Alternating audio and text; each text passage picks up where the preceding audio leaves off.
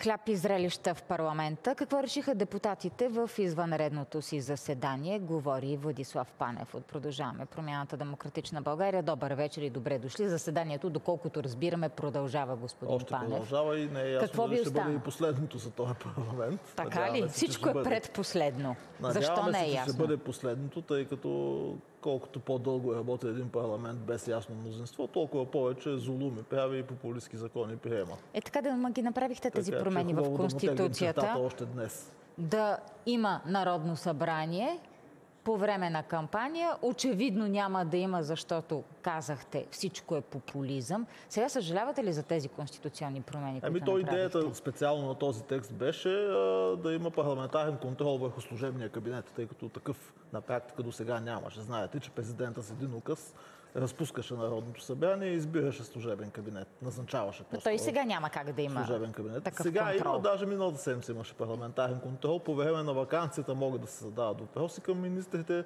Сега въпроси, се че наложи. срокове не текат а, по време на вакансията, т.е. по време на предизборната кампания. Така че до някъде има резон в този текст. Виждаме какви са и рисковете. Нагледно. Какво ви остава още?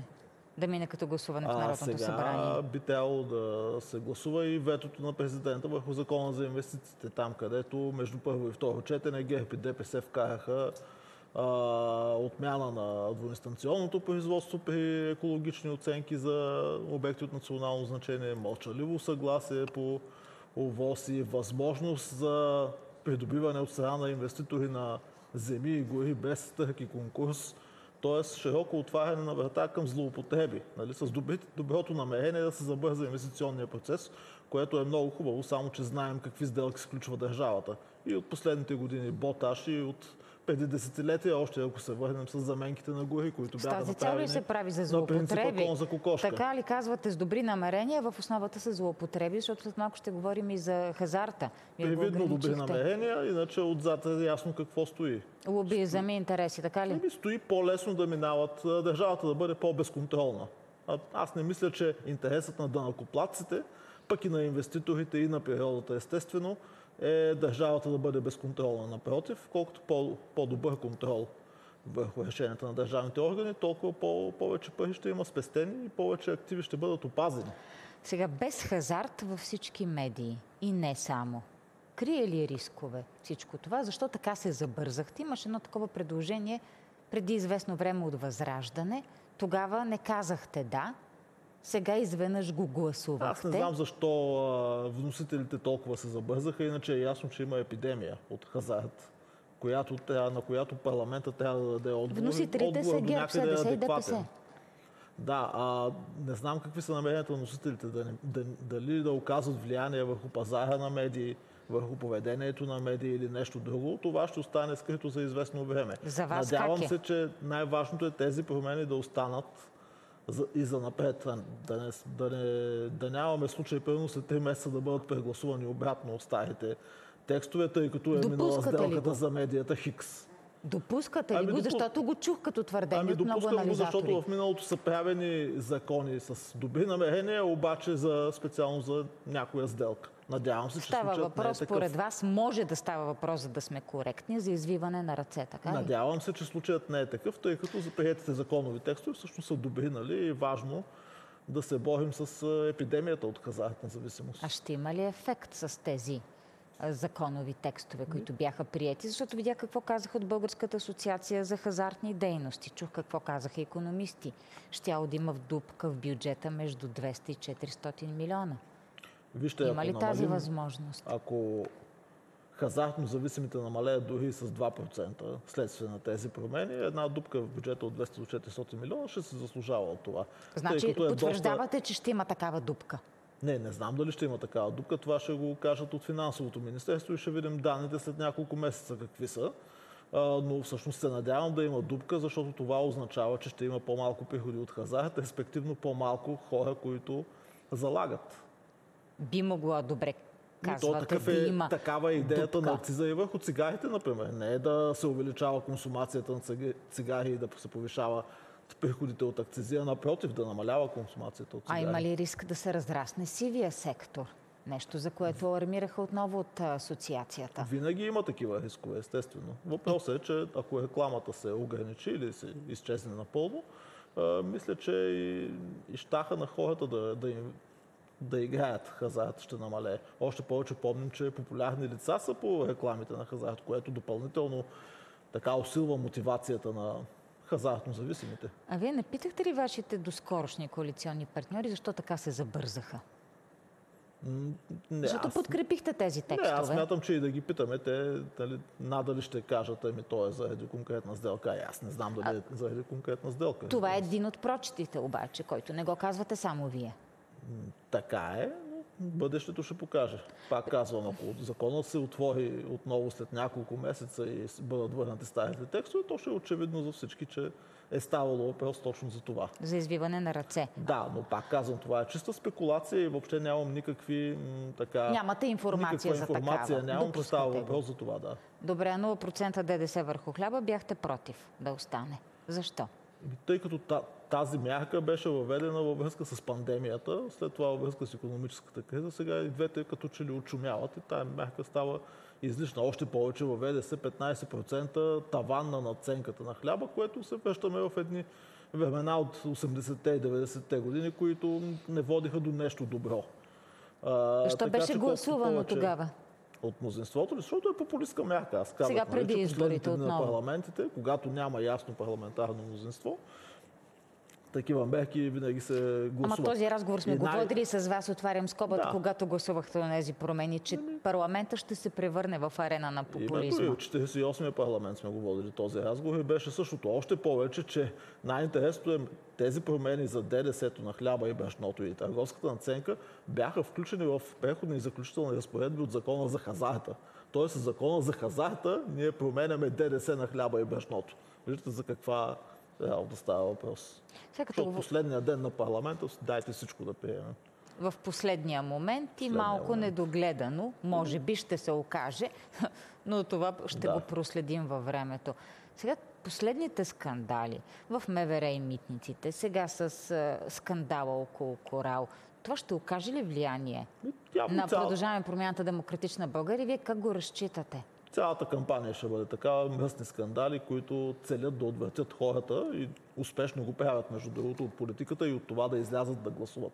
Затова за мен е важно да призова хората да излязат да гласуват на 9 юни и за европейски, и за български парламент, тъй като само така ще намалее контролирания вод. А целта на тези, които инспирират такива скандали и ги кои поддържат, са, подклажат. Кои са тези? Според мен са ГЕРБ и ДПС. Те имат очевиден интерес от по-ниска избирателна активност. А вас това притеснява Целта им е да отвъртят хората. Ако се окаже истина, всичко, което стои в основата на тези скандали. Нека... Първо ще се прави експертиза на подписите. Ма вижте, нека се прави експертиза, нека се доказва. Обаче да се вадят в жълтите медии някакви информации, отделни снимки, пък отделни разпити на свидетели, които са извадени от контекста, това е доста мръсна игра.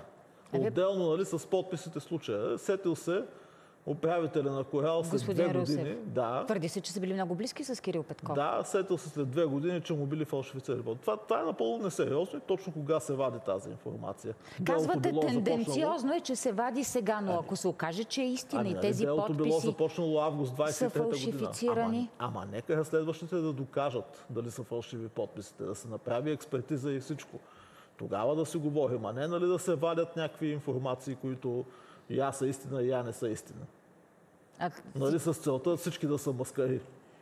Защото едните са откраднали от Боташ милиарди, другите от турски поток, е пак тия нали, фалшифицирали един подпис, което я е така, я не е така. Да, да, но нали си давате сметка какво остава у хората като съмнение? Остава с фалшифициран с... подпис влизаш в политиката като служебен министр, с фалшифициран документ влизаш в политиката като премьер-министр. Още, още повече, то даже няма нужда да фалшифицираш подпис и да внасяш веднага а, решение за освобождаването ти от управителния съвет на неправителствена организация, тъй като ти имаш срок, в който да започнеш действия това да се случи. А кога управителният съвет ще те освободи, вече е друга тема. Тоест, с този акт ти не, не ставаш министър. Хубаво да е, но вие говорихте ли, водихте ли го този разговор с Кирил Петков, с Лена Бориславова, аз с не съм Никола Минчев? с- Интересно ли ви е? Питахте ли ги? Не. не.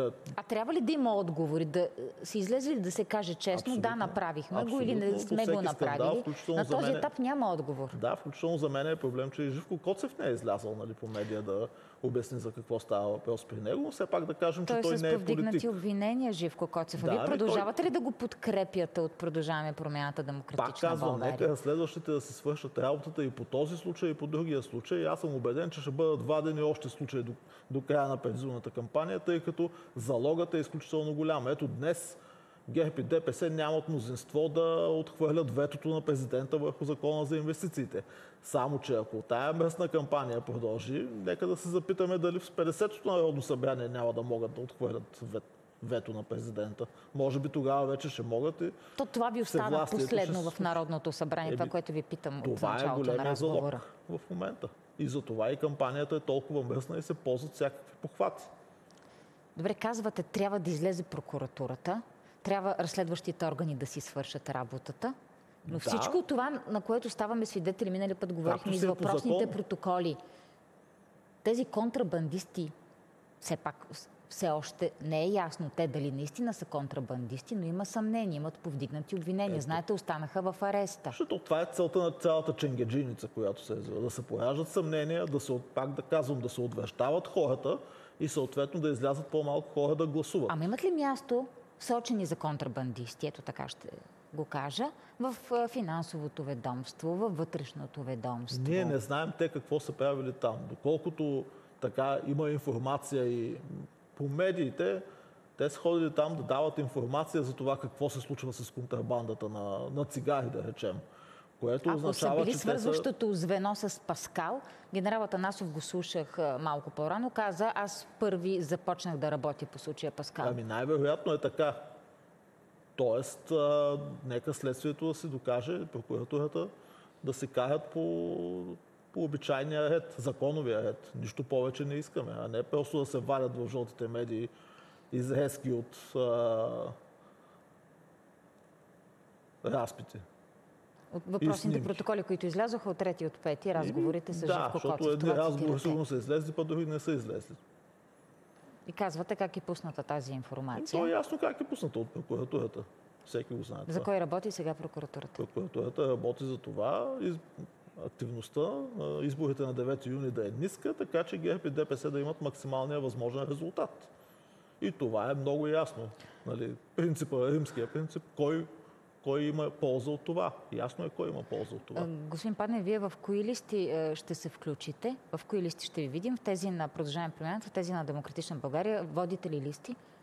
То първо продължаваме промяната и демократична България. Ще имат едни листи. То това е повече от ясно. Така, но понеже в- вие напуснахте зелено движение в този контекст. Дали е ще бъда аз в листи и на къде точно ще бъда в На листи, този това етап- зависи от преговарящите Да, не ви виждам, за това ви питам.